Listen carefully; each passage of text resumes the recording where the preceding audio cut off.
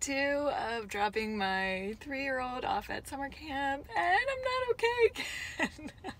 Yesterday, she had the best day ever. However, she did fall and get hurt, and she got a boo boo on her ankle and on her palm. So, this morning, when we were in line to sign in, she was trying to show all her little friends her boo boo. And I guess another girl wasn't there yesterday that came, and her, she, she already knew one of the girls, and they were like together, and they were totally ignoring my daughter, really walking away from her. My daughter was just so excited and she didn't even notice, which of course that's how she is. The girls wanted nothing to do with her.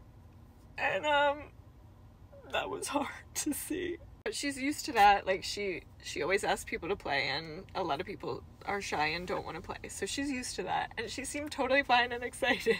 I'm just the. Long story short, she's doing amazing. She loves it and I'm broken. How am I gonna deal with like real big things? A piece of me um is not with me for the first time and I, I, I feel so out of control. Get it together.